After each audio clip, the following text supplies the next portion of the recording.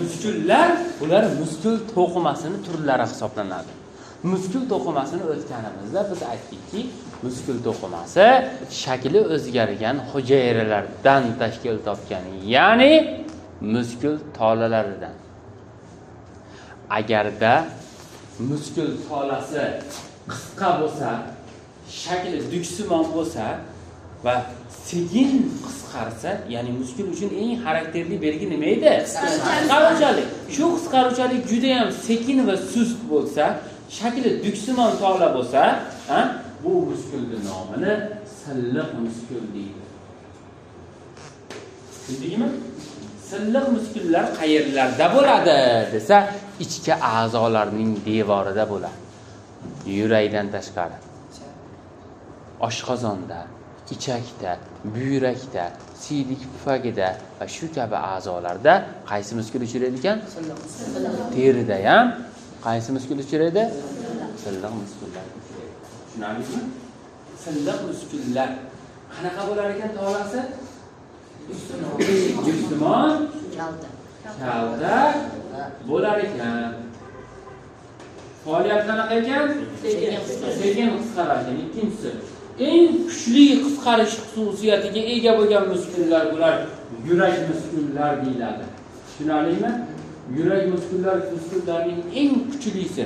Ular e, ko'ndalang targ'il muskullar ko'ndalang targ'il tolali muskullar toifasiga kiritiladi.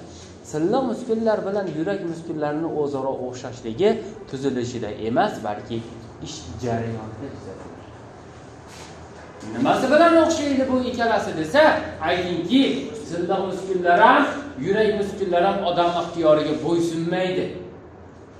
Yuragingizga aytsangiz bo'ladimi? To'xtab turgin desangiz nima bo'ladi? Bekorlarni aytibsan deydi yoki oshqozoningizga aytasizda nima deysiz? Ovqat hazm qilmay turgin ovqatim kechgacha yetib olsin desangiz. Jamila xohlagan ya'ni odam ixtiyoridan tashqari. Lekin uchinchi toifa muskullar bor. Bular skelet muskullari deyiladi. Skelet muskullarining olti yuzta turi bor. Olti yuzta. Muskullarimiz soni nechta ekan? Suyaklarimiz soni nechta edi? Ikki yuz oltita. Ko'p ekanmi? Olti yuzta muskul bor. Bu olti yuzta muskullarning barchasi odam ixtiyoriga bog'liq muskullardir tushundingmi odam ixtiyoriga bog'liq bo'ladi bular. Skelet muskullari deyiladi. Har qanday skelet muskullari suyakka birikkan bo'ladi. Faqatgina yuz muskullari bundan mustasno. Tushundingmi? Suyakka birikishini qarang. Mana yerda bunaqa suyakni rasmini chizadigan bo'lsak sherozni kecha chizgan shehroz kecha chizgan suyakni chizib qo'ydim pompog'ini mana shu yerda muskul joylashishi kerak mana muskul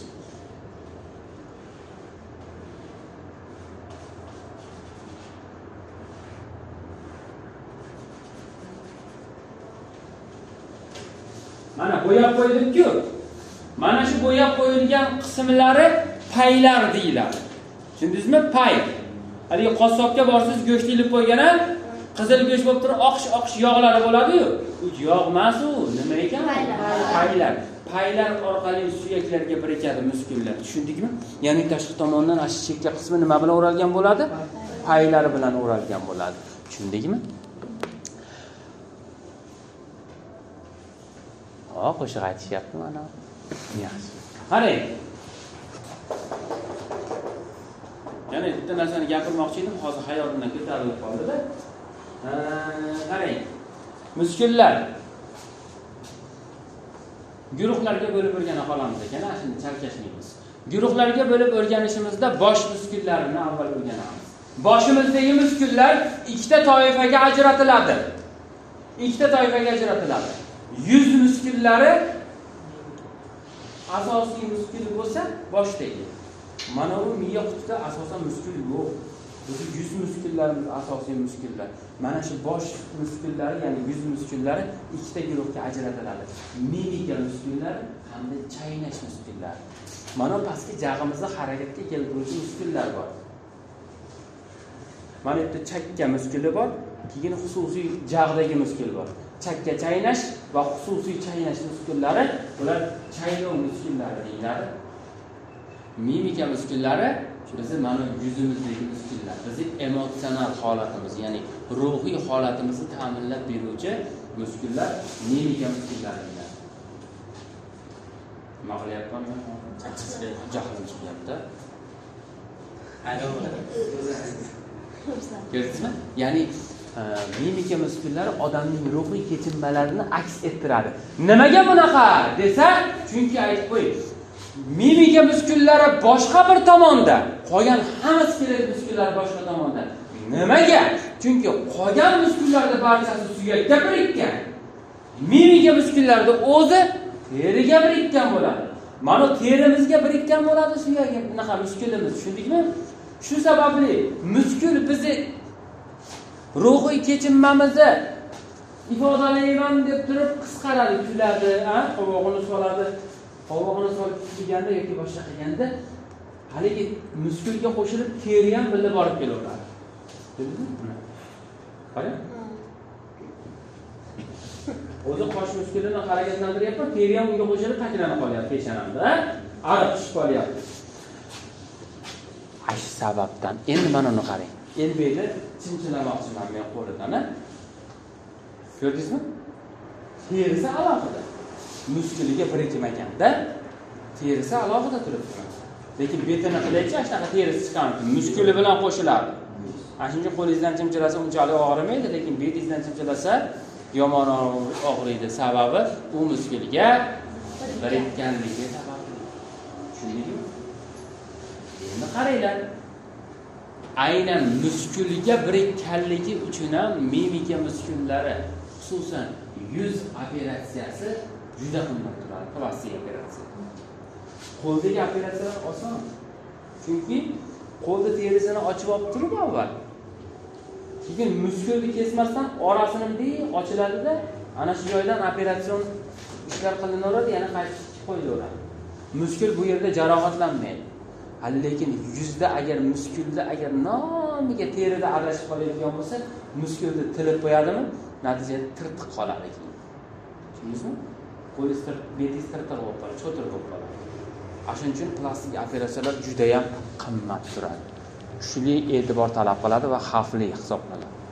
Kelishdingmi bu endi sizlar uchun qo'shimcha ma'lumotlar edi. Endi ikkinchi guruh muskullari bo'yin muskullari bo'yin. Bo'yin muskullarini vazifasini qara hoji akbar qara bir so'z bilan aytganda boshni harakatini ta'minlab berish bundan tashqari qo'lni harakatini ta'minlab berish vazifasini bajaradi. Tushundikmi? Bo'yin muskullari tushunarli bo'ldi. Bosh muskullari qo'l muskullari oyoq muskullari. Asosiy bizni bunaqa muskulimizni massasini qo'l va oyoqlardagi muskullar tashkil etadi odamning qo'lini oldi tomonida bukuvchi muskullar orqa tomonda esa yozuvchi muskullar ya'ni yoyuvchi muskullar joylashgan bo'ladi. Tushundingizmi? Bukadi yozadi. Mana bu yelka bo'lsa yelka suyagi bo'lsa yelka suyagining oldingi tomonida ikki boshli muskul joylashgan. Nechi boshli ekan? Orqa tomonida uch boshli. muskul oldi tomonida ikki boshli orqasida uch boshli. Ikki boshli muskul qisqarganda qo'l tirsakdan bukiladi. Uch boshli muskul qisqarganda qo'l tirsakdan yoziladi. Qo'lingizni mahkam mana shunday qilganingizda mana bu qattiq bo'lib qoladi. Endi qo'lingizni mahkam yoyingda mana bu joy qattiq bo'lib qoladi boshqa payt u yumshoq turadi. Lekin mana shunday qilgan paytingizda mana siz qo'lingizni cho'zgan paytingizda mana bu orqa tomon qattiq bo'lib qoladi. Tushundingizmi? Chunki bu qisqaruvdi keyin bukildi mana yozildi bu qisqarsa bukildi. Tushundingizmi? Yelkaning ikki boshli muskulini vazifasi nima desa nima deymiz ekan? Qo'lni tirsakdan bukish uch boshli muskulni vazifasi yana mana bu yerda tirsak suyagida joylashgan tirsak bilak tirsak qismida. Oldi tomonda joylashgan muskul kaftni bukish yoyish. Bunday mahkam mush qilingda qo'lingizni mana bu qattiq bo'lib qoladi. Ko'rdingizmi? Amalda qo'llab ko'ring rosa anaqa xotiringizda qolishi oson bo'ladi. Mahkam mushkulsiz mana bu qattiqmi mana. Qattiq bo'sh qo'ydim bo'shadi. Mahkam mush. Ko'rdingmi qarovda mahkam bo'ldi. Endi qarang mahkam ochamiz qo'limizni mana avval bo'sh qilamiz.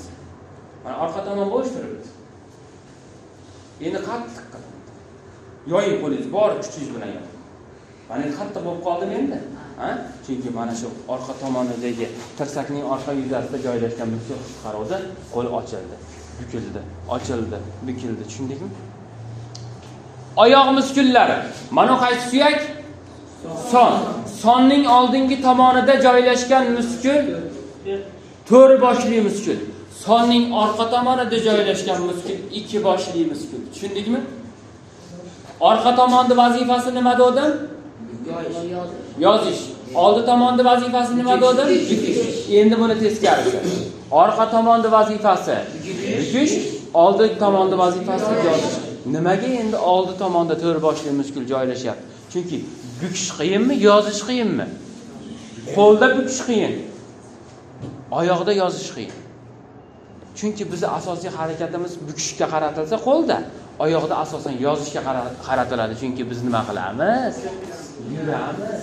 Yurganda oyoqni oldinga yozish kerakmi yozganda keyin qadam tashlanadida. Chunki asosiy energiya qadam tashlash uchun xizmat qilganligi uchun oldimiz muskuli kuchli rivojlangan. Xususan odamning eng kuchli rivojlangan muskuli tilida bo'lsa tili til muskuli bo'lsa undan keyin mana tana muskullarini ichida som muskuli juda to'rt boshli muskul eng kuchli rivojlangan muskul hisoblanadi boldirda orqa tomonida joylashgan katta muskulimiz bor. Uch boshlaymiz muskul oyoqni tovondan yozishni ta'minlaydi. Mana bunday qilgan paytingizda qattiq bo'ladi. Bunday qilgan paytingizda mana oldingi tomoni qattiq bo'ladi. Tushundingizmi? Ya'ni qattiqlashyapti qisqarganligi sababli kelishdikmi? Oson ekanmi? Qo'lni oyoqni boshda olib tashladik gavdamiz qoldi. Gavdani uch guruhga ajratamiz. Ko'krak qorin va orqa. Tushundingmi bel emas orqa. Mana qo'lim ikkala chekkasini ko'ring. O'zini orqasida tushundingmi ko'krak muskullar ko'krakning katta hamda kichkina muskullari bo'ladi. Bundan tashqari diafragma muskuli bo'ladi. Mana aytingizda dihaniyangiz bo'ladiyu dihaniya tugagan joyda mana degan bitta uringda rosa yomon og'ritadi ko'rdingizmi? Mana og'ritar ekanmi diafragma muskuli bo'ladida. Diafragma muskuli hamda qovurg'alar aro muskullar tashqisi qovurg'alar orasidagi muskullarning ichkisi bo'ladi. Tushundingizmi? Bu ko'krak muskullariga kiradi. Katta va kichik muskullarni vazifasi qo'lni ko'tarib tushirish yoki uni harakatini ta'minlab berish. Endi qovurg'alar aro muskullarning tashqisi. Qisqarganda qovurg'alar ko'tarildi ichkisi qisqarganda qovurg'alar tushdi. Tushundingizmi? Diafragma muskuli o'zini muskullari qisqarganda sekin tortiladi.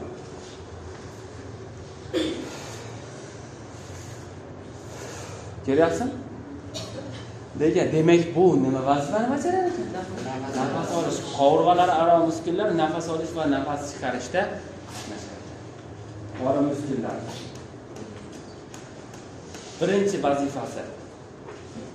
Qorin devorini hosil qilish bir ikkinchisi qorin qorin bo'limida joylashgan a'zolarni ichki bosimini ta'minlab berish bosimni bir xil ushlab turish. Tushundingizmi? Bo'sh turibdi qondan bo'sh turibdi. Lekin urganimda nima qilyapman men o'z o'zidan qatiryapman nima sababdan? Agarda zarbani bo'sh holatda yesam ichkariga bosim kiradimi zarba yeydida. Bosim ta'sirida ichki bosim o'zgarib turib og'riq kuzatiladi tushundingizmi? Ana shuning uchun ichki bosimni bir xilda saqlab berib turish qorin devorini hosil qilish kuchanish kuchanish refleksi qorin muskullari bilan bog'liq bo'ladi. Endi va to'rtinchisi umurtqa pog'onasini bukish. Agar qorin muskullari qisqarmasa assalomu alaykum deyolmaymiz tushundingizmi? Qorin muskullari qisqaryapti bizni umurtqamiz bukilyapti. Tushundingizmi? Endi agar orqa muskullar qisqarsachi umurtqa pog'onasi yoziladi. Tushundingizmi? Qorin muskullari qisqarsa umurtqa pog'onasi bukiladi. Egilmaydi bukiladi. Orqa muskullar qisqarsa yoziladi. Tushundikmi jumaboyi uxlamang. Cho'ta men allalaringni eslatib olyapman shekilli seni. Uxlab uxlab qolmagin darsda. Ho'p tushunib oldikmi? Qaysi muskulga o'tib ketdik o'z o'zidan orqa muskulga orqa muskul umurtqani yozadi bundan tashqari gavdani rostlab turadi. Tik tutadi gavdani. Birinchi bo'lib odamda orqa muskullar izdan chiqadi kuchsizlanadi. Keksayganda ana shuncha qarilar nima bo'lib qoladi? Egilib qoladi. Qaysi muskul ishdan chiqyapti. Agar qariyalar sport bilan shug'ullangan bo'lganda orqa muskullari izdan chiqmagan bo'lardi. Sakson yoshdan mana shunday tik yuradi. Tushundingizmi? Dangasa odamlarda sekin orqa muskullari nima bo'lishni boshlaydi. Ishdan chiqadi va egilib qoladi. Oxiri nima bo'lib qoladi? Egilib qoladi bukilib qoladi. Tushundingmi? Ana uchun sport bilan hozirdan shug'ullaninglar. Kelishdik. Savollar bormi? Savollar yo'qa qo'l va oyoq muskullari gavda muskullari sizlarga o'tib berildi. Qolganini keyin gaplashamiz. Sizlarga berilyapti yigirma beshinchi rasm. Qayerdagi bukadi qayerdagi yozadi? Sizlardan yaxshilab keyingi darsda so'rayman. Bosh muskuli umuman gavda muskullarining tarkibiy qismlarini sizlardan so'rayman. Kelishdikmi o'rtoqlar? Yaxshilab o'qib kelamiz.